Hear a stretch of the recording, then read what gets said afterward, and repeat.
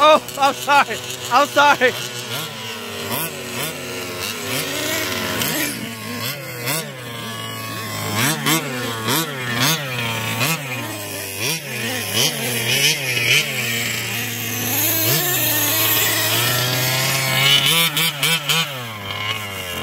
Man, that thing is awesome, man.